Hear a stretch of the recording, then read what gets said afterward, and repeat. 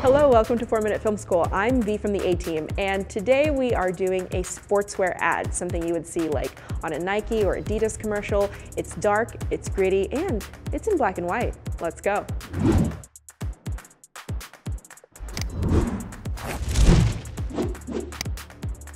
All right, I'm here with Oliver Lukacs. He is a cinematographer here in Los Angeles. He does music videos, Western, horror films, and today we are making a commercial. What is the vibe we're going for? Sort of like a, a Nike or Adidas commercial. Like a sportswear apparel, but drama. So this entire scene is in black and white. How come you chose to make it that way? I wanted it to be very dramatic. It's limiting in a, in a way that's creatively challenging. So the first shot you lit for is this wide going into medium. It's on a dolly. And I see this big kind of strip of light along the bottom.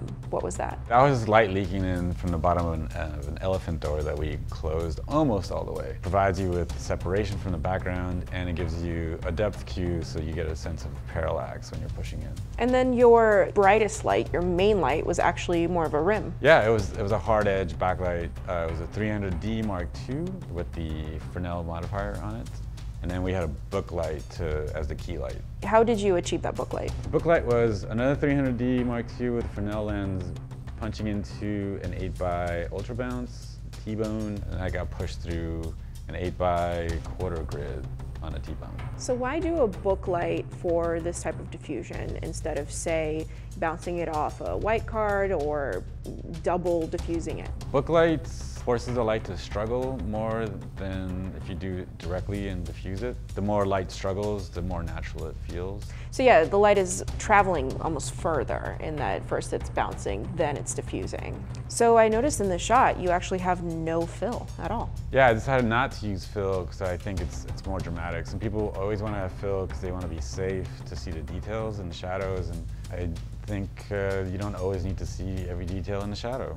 Speaking of seeing more detail, you did do a little bit more of a close-up shot. You punched in on his face, and this was another dolly shot, but this time not a straightforward dolly, right? Yeah, it was just a banana movement on, on a curved track, and we moved the book light closer to his face so that there was more wrap, and the lights in his eyes were a little more prominent kept the backlight where it was and added a little bit of uh, atmosphere. And as you're going around that track, I notice another light sort of appears in the background. It's this vertical strip of light. What was that? Oh yeah, that was the entrance, the front door to the gym. We left it like a crack open, so you have a depth cue and then you can feel the parallax. And uh, now you also did another close-up, but this time you went low on the shoes. Right. What did you change up for that? We opened the elephant door in the background because we wanted to indicate passage of time. We took the 300D that was the hard back edge and just put it on the ground so it was on level with his feet and it was sort of scraping the floor at the same time. What I also like about having the elephant door open was that you get that reflection in the floor as well. And of course, why have a sports ad if you don't have a gratuitous shot of a muscle flexing, right?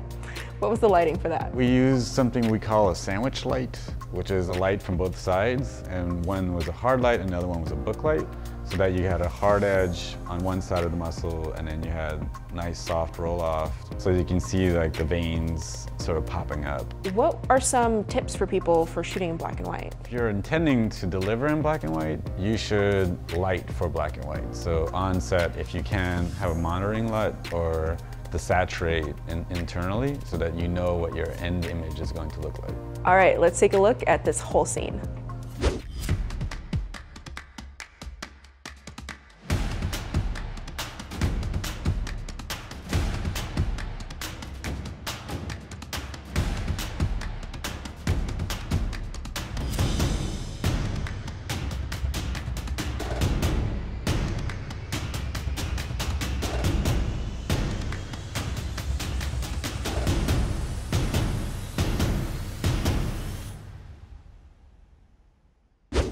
All right, Oliver, if we want to shoot something similar to this, what are some things we should keep in mind? Uh, using a combination of hard backlight with a soft key light, knowing what your final look is going to be before you start shooting it, lighting to that look on set.